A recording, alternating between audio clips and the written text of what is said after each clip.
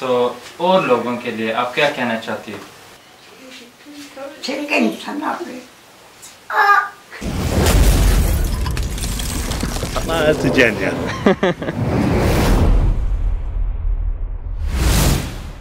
Assalamu alaikum guys and welcome to another episode of Smile to Jannah.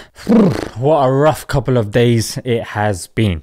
On Tuesday morning, a couple of days ago, my grandmother passed away. She was 97 years old and she was in Pakistan.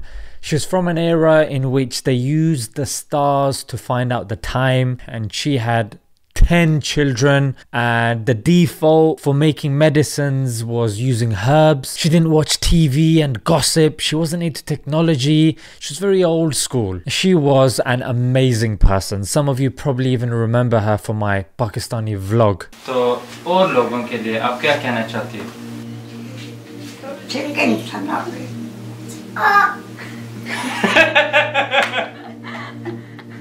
That is very good advice from DJ Nana. छोटे बच्चे पढ़ो लिखो जितना लिखसुन पढ़सुन इतना ही ठीक उससे city ना पढ़ो स्कूल आए ना पढ़ो लोगों के बारे में। लोखंड बाधित हुए आज को साथ जी कर बुलाओ सोनी तो हम मिलो मिलो। या नाम ना तम सलाम देगा तम सलाम अल्लाह ने मतलब पड़ा करेगा कौन मैं? थोड़े तुम ही हो ये क्या कोई ये क्या कुछ है अच्छा भाई जरा हूँ मिला ना सलाम देगा तम मैंने समझा आप कह रहे मैं अकेले वाला मैं अकेले वाला नहीं। नकला ढालना कहीं तो मैं नहीं रख ला क्या ना कर किसी से गुस्सा ज़्यादा है फिर बंदा क्या करे? गुस्से की छोड़ना।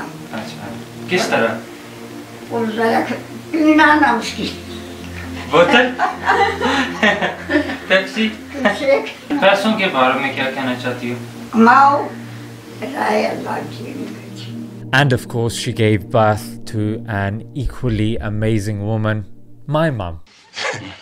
And they say guys can't express their true feelings, you know? So naturally, as soon as my mum found out about this, she wanted to get on the first plane back to Pakistan so she could participate in the funeral rites. But unfortunately, my mum's Pakistani documentation was expired, so she had to get a visa. But that meant going to the Pakistani High Commission here in London. I'm afraid. My experience there was absolutely terrible. The guy responsible for handling these cases should be understanding, supportive, and gentle, but he was the exact opposite. Now, because I've taken the issue forward and I've given evidence of the recordings I had and the WhatsApp messages, that's being dealt with. I don't want to embarrass him online, even though his attitude was absolutely vile. So, the visa application is supposed to be done solely online. So get this your family member dies, and rather than getting this process done as soon as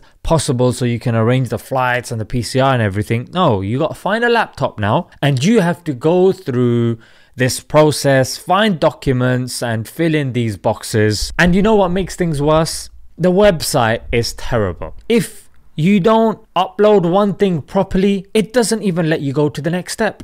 And the beauty is, there's no helpline there. You can't call somebody that can walk you through it or that can help you get past that step. No. So for us, the issue was submitting the picture. Now, my mom got a picture done professionally as they were. We got a digital copy. We submitted that on the site. It wasn't working. We cannot detect the eyes. Right? What do you want me to do if you can't detect the eyes? It's a professional image. And even they say there's errors and errors can happen.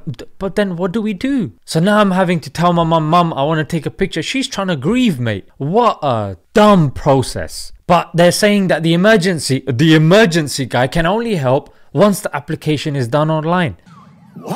So I spent hours sitting on there, you know, doing whatever I can. Alhamdulillah, you know, even though it was madness, absolute madness, I got it done. Then I called this Don up, yeah, the emergency guy.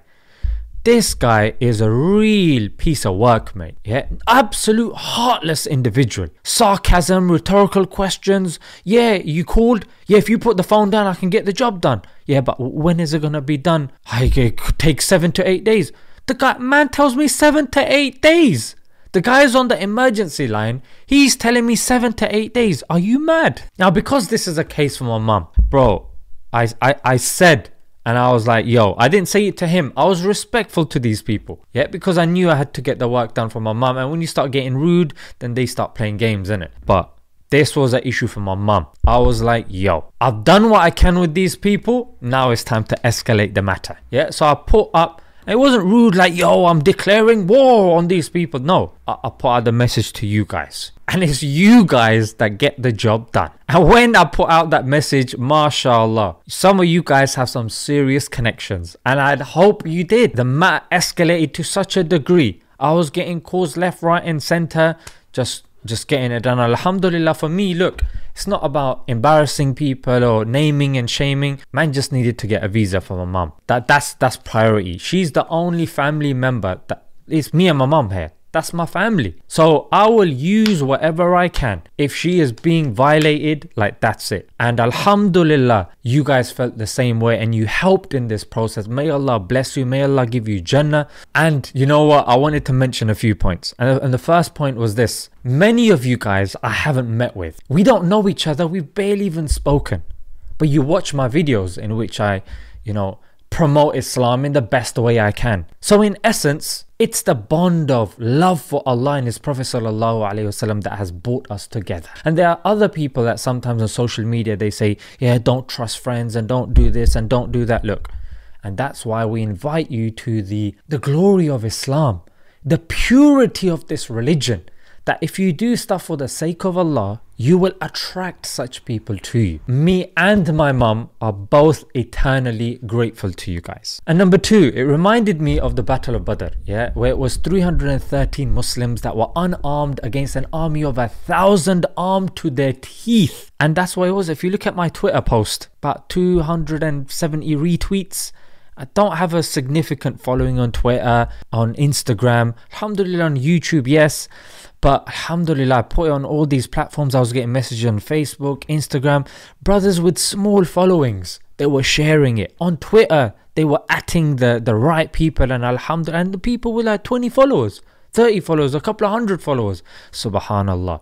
And that, you know what? Compare that the Battle of Badr. Few people in number, but subhanAllah, the effect was great. Yeah, it was quality over quantity. And that's what we saw. Well, that's what I saw. And that's the attitude that, subhanAllah, it's inspirational for me and inshallah for the viewers as well. How some people, mashallah, with even the little bit that they have, they go above and beyond. And I request that we take this energy and we continue it with other cases in which Muslims are being persecuted. So, guys, Alhamdulillah, my one got sorted. But one thing that I wanted to do, and I said to my mum that you know, we need to use the situation because there was a time where subhanallah it was just me and my mum we'd go and spend hours in the embassy and you know going from one person to another and it was crazy now alhamdulillah with social media we can you know we have a big following so we can put out a message but what point like i said is having a big following if you can't use it to help people yeah so i just want to say and please forward this and retweet it on twitter i'll put it on the pin tweet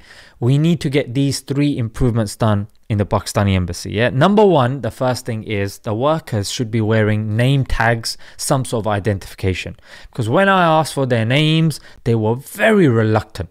Yeah, it took ages for me to get their names. Number two, the emergency number should not be handled by the individual that was there a day or two ago. Yeah, that guy cannot handle and treat such people because if somebody that's gone through a bereavement, you have to be able to handle that person with the care and respect and empathy. If you can't do that, you're in the wrong job, mate. Yeah, go go to another department because you are going to be dealing with people that are eager to get the job done. And number 3 and this is the most important one, the whole process should not be restricted to online. It's ridiculous. We went there, there was nothing there. They sent us back home. We called there, the communication's very poor, not very transparent. Yeah. So the communication needs to be clear. The website needs to be done properly. If there's issues, have a contact number there. So when the seniors called me, I said, look, we need something in place. And what can someone else do if they're ever in a situation like mine? They said, look, and I say this as well look, don't complain and make a mountain out of a molehill because what you're doing is when they start thinking, oh, everybody complains, everyone's rude, don't be rude because they'll disregard what you say. Stay respectful, kind, keep your tone, you know, at a decent level. And number two, don't make complaints about every little thing because it makes it difficult for people that actually do have issues. So, when I spoke to her, she said if there's like an issue and it's not being resolved, ask them to bring the deputy.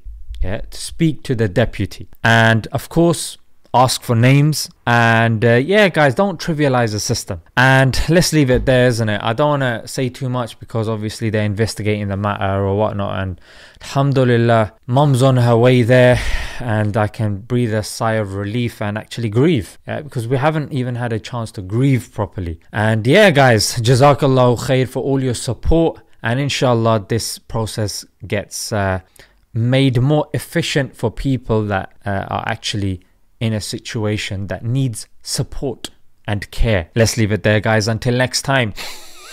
Assalamu alaikum.